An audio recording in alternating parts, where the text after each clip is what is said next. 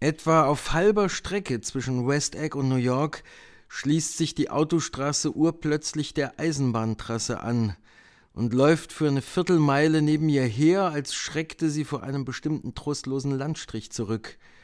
Es ist ein Tal der Asche, eine fantastische Farm, wo Asche wie Weizen gedeiht und sich zu Graten und Hügeln und grotesken Gärten auswächst, wo Asche die Form von Häusern und Schloten und Rauchsäulen annimmt und schließlich mit übernatürlicher Anstrengung auch die Form aschgrauer Menschen, die sich wie schon zerfallende Schatten durch die pudrige Luft bewegen. Hin und wieder kriecht eine Reihe grauer Waggons über ein unsichtbares Gleis, stößt ein gespenstisches Kreischen aus und kommt zum Stehen, und augenblicklich schwärmen die aschgrauen Menschen mit bleiernen Spaten aus und wirbeln eine undurchdringliche Wolke auf, die ihre düstere Geschäftigkeit vor allen Blicken verbirgt. Oberhalb der grauen Landschaft aber und noch über den trostlosen Staubschwaden, die beständig darüber hinwegziehen, bemerkt man nach einer Weile die Augen von Dr. T. G. Eckelberg. Die Augen von Dr. T. J. Eckelberg sind blau und riesengroß, mit Augäpfeln fast einen Meter im Durchmesser. Sie schauen aus keinem Gesicht, sondern hinter einer riesigen gelben Brille hervor, die auf einer nicht vorhandenen Nase sitzt. Offenbar hat irgendein Witzbold von Augenarzt sie dorthin gepflanzt, um seine Praxis im Stadtbezirk Queens anzukurbeln, und ist anschließend selbst in ewiger Blindheit versunken, oder er hat sie vergessen und ist fortgezogen. Seine Augen jedoch, ein wenig trüb geworden von vielen farblosen Tagen unter Sonne und Regen, brüten weiter über der düsteren Schutthalde. Das Tal der Asche wird auf einer Seite von einem kleinen stinkenden Fluss begrenzt, und wenn die Brücke hochgezogen ist, um Lastkähne passieren zu lassen, dürfen die Fahrgäste der wartenden Züge bis zu einer halben Stunde lang auf die trostlose Szenerie starren. Man steht dort eigentlich immer wenigstens eine Minute, und bei einer solchen Gelegenheit traf ich zum ersten Mal auf Tom Bachnans Geliebte. Dass er eine hatte, schien in seinen Kreisen eine allseits bekannte Tatsache zu sein. Die Leute verübelten es ihm, dass er mit ihr in beliebten Lokalen auftauchte und sie am Tisch zurückließ, während er umherschlenderte und mit wer weiß wem plauderte. Obwohl ich durchaus neugierig auf sie war, legte ich keinerlei Wert darauf, ihr zu begegnen. Und doch kam es dazu. Eines Nachmittags fuhren Tom und ich mit dem Zug nach New York, und als wir bei den Aschehalden anhielten, sprang er auf, packte mich am Ellenbogen und zerrte mich förmlich aus dem Waggon. Wir steigen aus, drängte er. Ich möchte, dass du mein Mädchen kennenlernst. Ich glaube, er hatte zum Mittag einiges in sich hineingeschüttet, und die Art, wie er auf meiner Gesellschaft beharrte, konnte man geradezu hitzig nennen. Selbst herrlich ging er davon aus, dass ich an einem Sonntagnachmittag nichts Besseres vorhatte. Wir stiegen über einen niedrigen weißgetünchten Zaun an der Trasse und gingen unter Dr. Eckelbergs starrem Blick etwa hundert Meter die Straße zurück. Das einzige Gebäude weit und breit war ein kleiner Block aus gelben Ziegeln am Rand der Einöde, der über eine Art schmale Hauptstraße zugänglich war und an rein gar nichts angrenzte. Einer der drei Läden, die er beherbergte, war zu vermieten, der zweite ein Restaurant, das die ganze Nacht geöffnet hatte, der dritte war eine Autowerkstatt. Reparaturen, George B. Wilson, An- und Verkauf. Und ich folgte Tom hinein. Der Innenraum wirkte dürftig und kahl. Nur ein einziges Auto war zu sehen, das staubbedeckte Wrack eines Ford, das sich in eine düstere Ecke duckte. Mir schoss bereits durch den Kopf, dass dieser Schatten von einer Werkstatt eine Attrappe sein müsse, und dass sich im Obergeschoss wohl romantische Luxusapartments verbargen, als in einer Bürotür der Besitzer erschien und sich die Hände an einem alten Lappen abwischte. Er war ein blonder, kraftloser Mann, blutarm und leidlich gut aussehend. Als er uns bemerkte, sprang ein leiser Schimmer der Hoffnung in seine hellblauen Augen.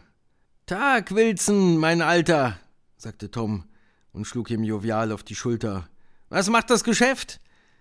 Er kann nicht klagen, erwiderte Wilson wenig überzeugend. Wann verkaufen Sie mir den Wagen? Nächste Woche. Einer meiner Männer arbeitet noch dran. Lässt sich wohl Zeit damit, was? Nein, tut er nicht, sagte Tom kalt. Und wenn Sie so darüber denken, sollte ich ihn wohl besser woanders verkaufen. Äh, so meine ich's nicht, erklärte Wilson hastig. Ich meinte nur. Seine Stimme verklang und Tom schaute sich ungehalten in der Werkstatt um. Dann hörte ich Schritte auf der Treppe, und einen Augenblick später schob sich die üppige Gestalt einer Frau vor das durch die Bürotür hereinfallende Licht. Sie war ungefähr Mitte dreißig und etwas füllig, gehörte aber zu den Frauen, die ihre Rundungen mit Sinnlichkeit zu tragen verstehen. Ihr Gesicht über dem getupften Kleid aus dunkelblauem Kreb zeigte nicht den leisesten Anflug von Schönheit, doch sie strahlte eine unvermittelt spürbare Vitalität aus, als herrschte in den Nerven ihres Körpers ein beständiges Glühen. Sie lächelte leise, als sie durch ihren Mann hindurchging wie durch einen Geist, schüttelte Tom die Hand und sah ihm dabei direkt in die Augen. Dann befeuchtete sie ihre Lippen, und ohne sich umzudrehen, sagte sie mit leiser, rauchiger Stimme zu ihrem Mann Hol ein paar Stühle, sei so gut, damit man sich setzen kann.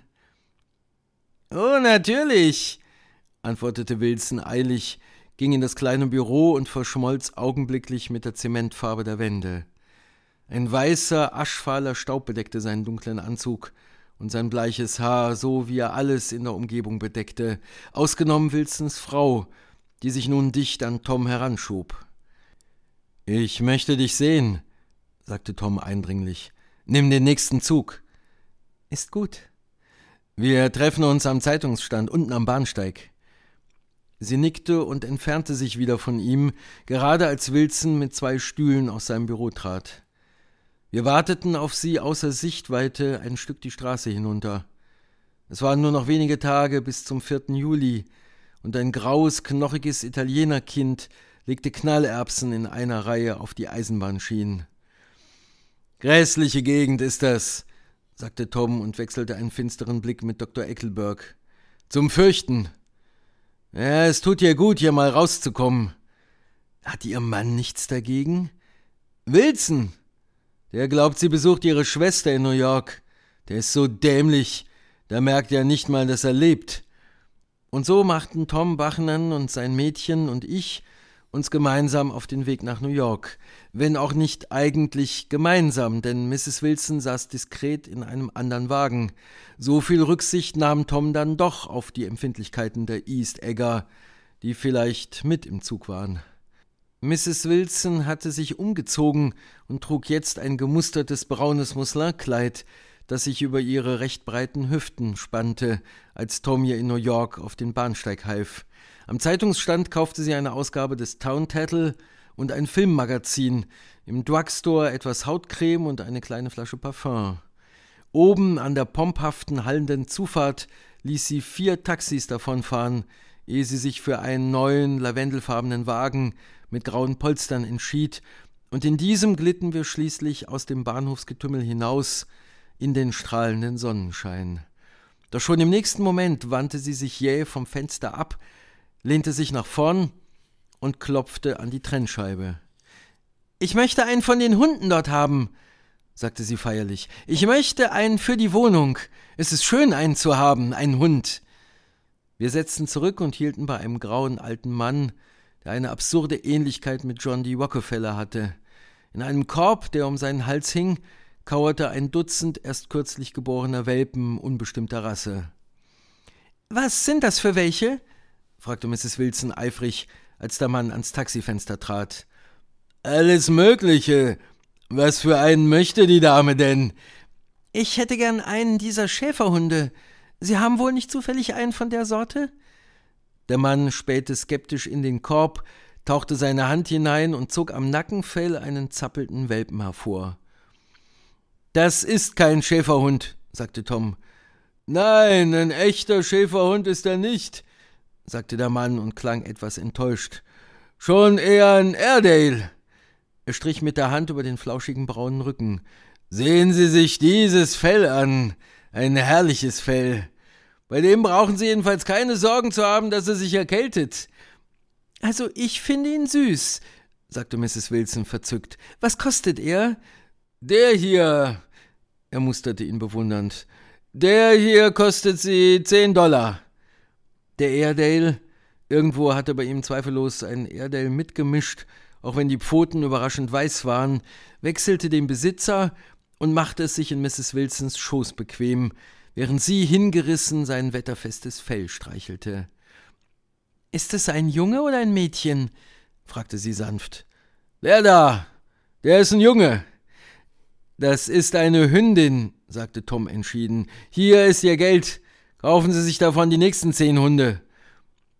Wir fuhren hinüber zur Fifth Avenue, die an diesem sommerlichen Sonntagnachmittag warm und mild war, beinahe ländlich.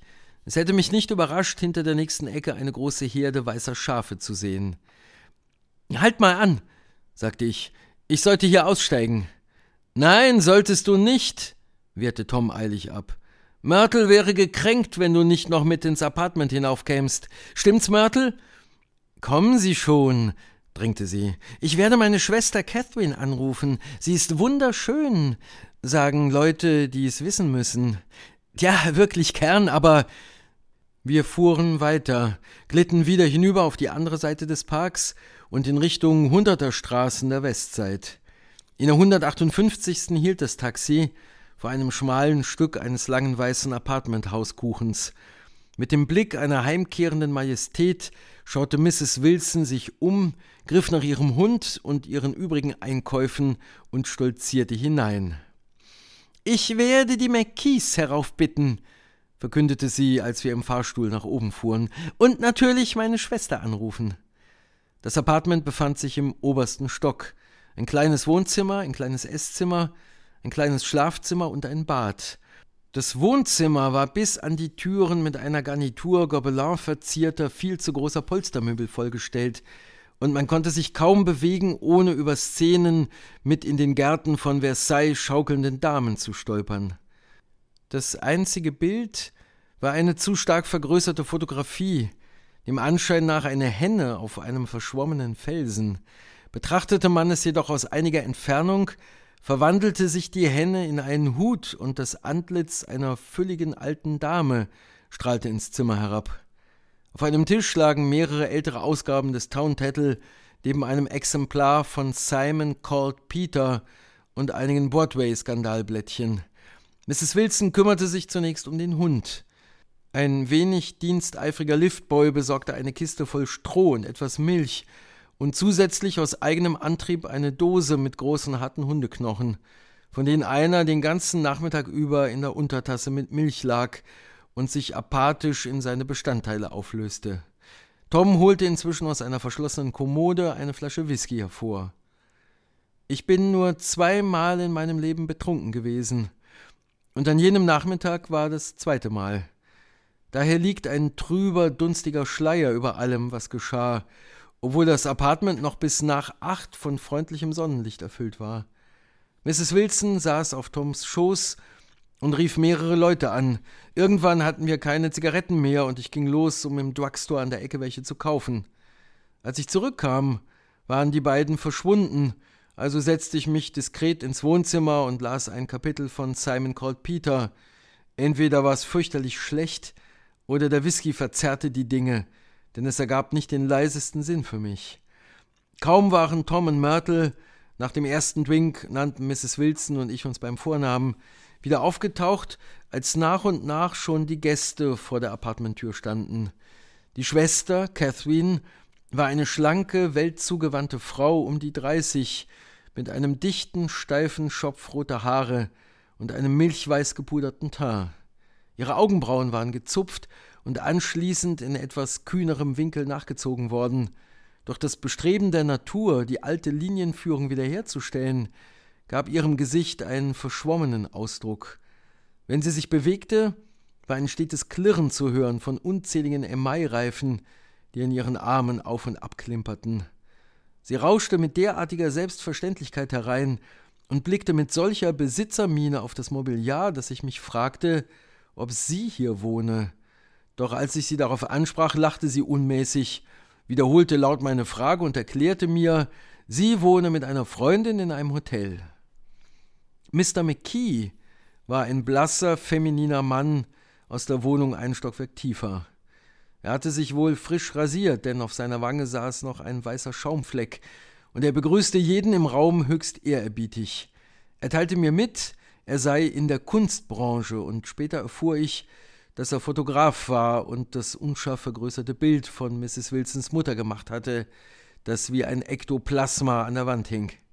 Seine Frau war schrill, träge, hübsch und nicht auszuhalten. Stolz erzählte sie mir, ihr Mann habe sie seit ihrer Hochzeit 127 Mal fotografiert. Mrs. Wilson hatte sich bereits einige Zeit zuvor umgezogen und trug jetzt ein aufwendiges Nachmittagskleid aus cremefarbenem Chiffon, das ein beständiges Rascheln von sich gab, während sie durch den Raum glitt. Unter dem Einfluss des Kleides hatte sich auch ihre Ausstrahlung verändert. Die kraftvolle Vitalität, die in der Werkstatt so auffallend gewesen war, verwandelte sich in imposanten Hochmut. Ihr Lachen, ihre Gesten, ihre Bemerkungen gerieten ihr jeden Moment noch affektierter, und während sie sich aufplusterte, wurde der Raum um sie her immer kleiner, bis sie sich auf einem lärmenden, quietschenden Angelpunkt durch die rauchige Luft zu drehen schien. Meine Liebe, rief sie ihrer Schwester in hoher, gezierter Tonlage zu. Die meisten dieser Leute betrügen dich, wo sie können. Sie denken doch nur ans Geld. Letzte Woche hatte ich eine Frau hier wegen meiner Füße, und als sie mir die Rechnung gab, hätte man denken können, sie hätte mir den Blinddarm rausgenommen. Wie hieß diese Frau noch gleich? fragte Mrs. McKee. Mrs. Eberhard. Sie kommt zur Fußpflege zu den Leuten nach Hause. Ich mag ihr Kleid, bemerkte Mrs. McKee. Ich finde es hinreichend. Mrs. Wilson verschmähte das Kompliment, indem sie verächtlich eine Augenbraue hochzog. Das ist bloß ein komischer alter Fetzen, sagte sie. Ab und zu ziehe ich ihn über, wenn's mir egal ist, wie ich aussehe. Aber Sie sehen fabelhaft darin aus. Sie wissen schon, was ich meine, fuhr Mrs. McKee fort. Wenn Chester Sie in dieser Pose vors Objektiv bekäme, könnte er ganz sicher was draus machen. Wir alle schauten schweigend auf Mrs. Wilson, die sich eine Haarsträhne aus den Augen strich und unsere Blicke mit einem strahlenden Lächeln erwiderte. Mr. McKee betrachtete sie eingehend mit schiefgelegtem Kopf und bewegte dann langsam eine Hand vor seinem Gesicht hin und her. Ich müsste das Licht ändern, sagte er nach einer Weile. Ich würde gern die Form der Gesichtszüge herausarbeiten, und ich würde versuchen, das ganze hintere Haar zu erwischen.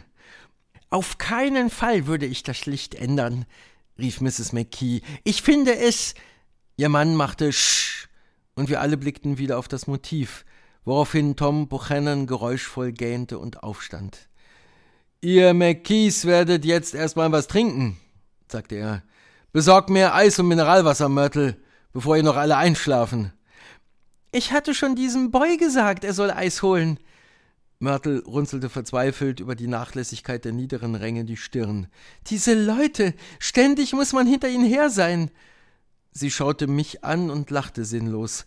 Dann stürzte sie sich auf den Hund, küsste ihn ekstatisch und rauschte in die Küche, als wartete dort ein Dutzend Köche auf ihre Anweisungen. Draußen auf Long Island habe ich einige schöne Sachen gemacht, erklärte Mr. McKee. Tom sah ihn ausdruckslos an. Zwei davon haben wir gerahmt unten hängen. Zwei was? wollte Tom wissen. Zwei Studien. Das eine nenne ich Montauk Point, die Möwen, und die andere Montauk Point, das Meer. Die Schwester Catherine setzte sich neben mich auf die Couch. Wohnen Sie auch drüben auf Long Island? fragte sie. Ich wohne in West Egg. Wirklich? Vor ungefähr einem Monat war ich dort auf einer Party bei einem Mann namens Gatsby. Kennen Sie ihn? Ich wohne direkt nebenan. Also, es heißt, er wäre ein Neffe oder Cousin von Kaiser Wilhelm. Da soll er auch sein ganzes Geld herhaben. Tatsächlich. Sie nickte. Ich habe Angst vor ihm. Also, ich will ihm um keinen Preis in die Quere kommen. Diese fesselnden Mitteilungen über meinen Nachbarn wurden von Mrs. McKee unterbrochen, die plötzlich auf Catherine zeigte. Chester, aus ihr könntest du doch bestimmt was machen, hob sie an, aber Mr. McKee nickte nur gelangweilt und wandte sich wieder Tom zu. Ich würde gern öfter auf Long Island arbeiten, wenn mich nur irgendwer bei den Leuten dort einführen würde. Einen guten Einstieg, mehr brauche ich gar nicht. Fragen Sie Mörtel, sagte Tom und lachte laut auf. als Mrs. Wilson mit einem Tablett hereinkam. Sie schreibt Ihnen sicher eine Empfehlung, stimmt's, Myrtle? Was tue ich? fragte sie entgeistert. Du schreibst Mr. McKee eine Empfehlung für deinen Mann, damit er ein paar Studien von ihm machen kann. Seine Lippen bewegten sich tonlos, während er überlegte. George B. Wilson an der Zapfsäule oder etwas in der Art. Catherine beugte sich zu mir herüber und flüsterte mir ins Ohr. Die beiden können ihre Ehegatten nicht ausstehen. Nicht? Nicht ausstehen. Sie schaute auf Myrtle, dann auf Tom. Also, was ich sagen wollte, ist, warum mit jemandem zusammenleben, den man nicht ausstehen kann? Wenn ich sie wäre, ich würde mich scheiden lassen und auf der Stelle heiraten. Kann sie Wilson denn auch nicht leiden? Die Antwort darauf war unerwartet.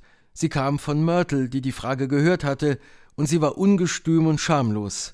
Da sehen Sie's, rief Catherine triumphierend, dann senkte sie ihre Stimme wieder. Eigentlich ist es eine Frau, die Ihnen im Weg steht. Sie ist Katholikin, und die halten nichts von Scheidung. Daisy war nicht katholisch, und ich war ein wenig entsetzt über die Raffinesse dieser Lüge. Und wenn Sie irgendwann doch heiraten, fuhr Catherine fort, gehen Sie für eine Zeit lang in den Westen, bis der Sturm sich gelegt hat. Klüger wäre es, nach Europa zu gehen. Oh, Sie mögen Europa? Rief sie unvermittelt. Ich war gerade erst in Monte Carlo. Tatsächlich? Ja, erst letztes Jahr. Ich war mit einer Freundin drüben. Für länger? Nein, wir fuhren nach Monte Carlo und wieder zurück. Über Marseille. Bei unserer Ankunft hatten wir 1200 Dollar, aber die haben sie uns an den Spieltischen in nur zwei Tagen abgeknöpft. Die Rückfahrt war fürchterlich, sag ich Ihnen. Gott, wie ich diese Stadt gehasst habe. Der Spätnachmittagshimmel erstrahlte hinter dem Fenster einen Augenblick lang im honigsüßen Blau des Mittelmeers. Dann rief Mrs. McKees schrille Stimme mich wieder ins Zimmer zurück. Mir wäre auch beinahe mal ein Malheur passiert erklärte sie lebhaft. Ich hätte beinahe irgend so ein Jütchen geheiratet, das jahrelang hinter mir her war. Ich wusste, er stand unter mir. Alle sagten mir immer wieder, Lucille, dieser Mann steht weit unter dir. Aber wenn ich Chester nicht begegnet wäre, hätte er mich gekriegt. Ganz sicher. Ja, aber wissen Sie, sagte Myrtle Wilson und nickte dazu mit dem Kopf, wenigstens haben Sie ihn nicht geheiratet. Hab ich nicht, nein. Tja, ich hab ihn geheiratet sagte Myrtle zweideutig, und das ist der Unterschied zwischen Ihrem Fall und meinem. Warum eigentlich, Myrtle? wollte Catherine jetzt wissen. Kein Mensch hat dich gezwungen. Myrtle überlegte. Ich habe ihn geheiratet, weil ich dachte, er wäre ein Gentleman, sagte sie schließlich. Ich dachte, er wüsste, wie man sich benimmt. Dabei war es nicht mal wert, meine Stiefel zu lecken. Eine Zeit lang warst du verrückt nach ihm, sagte Catherine. Verrückt nach ihm? rief Myrtle ungläubig. Wer sagt, dass ich verrückt nach ihm war? Ich war genauso wenig verrückt nach ihm wie nach diesem Mann da. Sie zeigte plötzlich auf mich, und alle sahen mich vorwurfsvoll an. Mit meinem Gesichtsausdruck versuchte ich klarzustellen, dass ich derlei Zuneigung auch nicht erwartete. Verrückt war ich nur, als ich ihn heiratete. Ich habe gleich gemerkt, dass es ein Fehler war. Für die Hochzeit hat er sich bei irgendwem einen Anzug geborgt und mir dann noch nicht einmal davon erzählt, und eines Tages, er war nicht da, kam dieser andere und wollte ihn wiederhaben. Oh, das ist Ihr Anzug, sagte ich. Das höre ich nun wirklich zum ersten Mal. Aber ich gab ihn ihm und dann legte ich mich hin und heulte mir den ganzen Nachmittag die Augen aus. Sie sollte wirklich zusehen, dass sie von ihm wegkommt, nahm Catherine an mich gewandt das Gespräch wieder auf. Seit elf Jahren leben sie jetzt über dieser Werkstatt. Und Tom ist der erste Liebhaber, den sie hatte. Die Flasche Whisky, eine zweite, fand nun regen Zuspruch bei allen Anwesenden, mit Ausnahme von Catherine, die sich ohne ebenso wohl fühlte, wie sie sagte. Tom läutete nach dem Portier und ließ ihn ein paar hochgelobte Sandwiches bringen, die allein ein vollwertiges Abendessen darstellten. Ich wollte hinaus und ostwärts in Richtung Park durch die sanfte Dämmerung spazieren, doch jedes Mal, wenn ich zu gehen versuchte, wurde ich in irgendeine wilde, hitzige Debatte verwickelt, die mich wie mit Stricken auf meinen Stuhl zurückzog. Dennoch, hoch über der Stadt musste unsere Reihe gelber Fenster für den zufälligen Betrachter in den allmählich dunkel werdenden Straßen etwas beitragen zum Geheimnis menschlicher Verborgenheit. Und der war ich auch, schaute hinauf und wunderte mich. Ich war drin und draußen, zugleich verzaubert und abgestoßen von der unerschöpflichen Vielfalt des Lebens. Mörtel zog ihren Stuhl dicht an meinen heran, und unversehens verströmte ihr warmer Atem über mir die Geschichte ihrer ersten Begegnung mit Tom. Wir saßen auf diesen schmalen Sitzen, die einander gegenüberliegen und immer als letzte im Zug noch frei sind. Ich war auf dem Weg nach New York, um meine Schwester zu besuchen und dort zu übernachten. Er trug einen feinen Anzug und Lackschuhe, und ich konnte meinen Blick nicht von ihm lassen, aber jedes Mal, wenn er mich ansah, musste ich so tun, als schaute ich mir die Reklame über seinem Kopf an.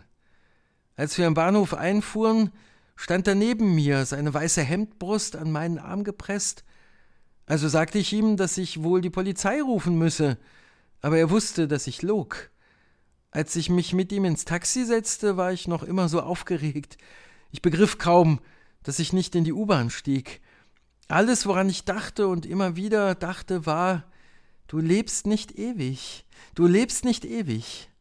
Sie wandte sich an Mrs. McKee, und der Raum tönte voll vom Klang ihres gekünstelten Lachens. Meine Liebe, rief sie, ich schenke Ihnen das Kleid, sobald ich es überhabe. Gleich morgen muss ich mir ein neues besorgen. Ich werde mir eine Liste machen mit all den Dingen, die ich besorgen muss. Eine Massage und eine Dauerwelle und ein Halsband für den Hund und einen dieser netten kleinen Aschenbecher mit Sprungfeder und einen Kranz mit schwarzer Seidenschleife für Mutters Grab, der den ganzen Sommer lang hält. Ich muss mir die Liste aufschreiben, damit ich nicht alles vergesse, was ich zu tun habe. Es war neun Uhr. Nur einen Augenblick später schaute ich auf meine Uhr und sah, es war zehn. Mr. McKee war mit geballten Fäusten im Schoß auf einem Stuhl eingeschlafen, wie die Fotografie eines Mannes der Tat. Ich holte mein Taschentuch hervor und wischte ihm den getrockneten Schaumfleck von der Wange, der mich den ganzen Nachmittag über gestört hatte. Der kleine Hund saß auf dem Tisch, spähte mit blinden Augen durch den Rauch und knurrte von Zeit zu Zeit leise. Leute verschwanden, tauchten wieder auf, machten Pläne, irgendwo hinzugehen, verloren sich aus den Augen, suchten einander, fanden sich ein paar Schritte entfernt wieder. Irgendwann gegen Mitternacht standen Tom und Mrs. Wilson sich direkt gegenüber und stritten sich mit überschlagenden Stimmen darum, ob Mrs. Wilson Daisys Namen in den Mund nehmen durfte. Daisy, Daisy, Daisy, schrie Mrs. Wilson. Ich sage es so oft ich will. Daisy, Daisy. Mit einer kurzen, geschickten Bewegung seiner flachen Hand brach Tom ihr die Nase. Dann lagen blutige Handtücher auf dem Boden des Badezimmers, zeternde Frauenstimmen waren zu hören und hoch über dem Durcheinander ein langes, gebrochenes Schmerzgeheul. Mr. McKee erwachte aus seinem Schlummer und machte sich schlaftrunken auf den Weg zur Tür. Auf halber Strecke drehte er sich um und starrte auf die Szene, auf seine Frau und Catherine, die schimpfend und tröstend mit Hilfsartikeln zwischen den dicht gedrängten Möbelstücken hin und her stolperten, und auf die verzweifelte Gestalt auf der Couch, die in Strömen blutete und versuchte, eine Nummer des Tone Tattle über die Gobelin-Szenen von Versailles zu breiten. Dann drehte Mr. McKee sich wieder um und ging durch die Tür hinaus. Ich nahm meinen Hut vom Kronleuchter und folgte ihm. Kommen Sie mal zum Mittagessen, schlug er vor, als wir im Fahrstuhl hinabächzten. Wohin? Irgendwohin. Nehmen Sie die Hände vom Hebel, blaffte der Liftboy. Oh, ich bitte um Verzeihung, sagte Mr. McKee würdevoll. Ich habe nicht gemerkt, dass ich ihn berührt habe. Einverstanden, sagte ich, sehr gern. Ich stand neben seinem Bett, und er saß aufrecht mitten zwischen den Laken in Unterwäsche mit einer großen Fotomappe in Händen. Die Schöne und das Biest, Einsamkeit, altes Krämerpferd, Brooklyn Bridge. Und dann lag ich halb schlafend auf dem kalten unteren Bahnsteig der Pennsylvania Station, starrte auf die Morgenausgabe der Tribune und wartete auf den Vier-Uhr-Zug.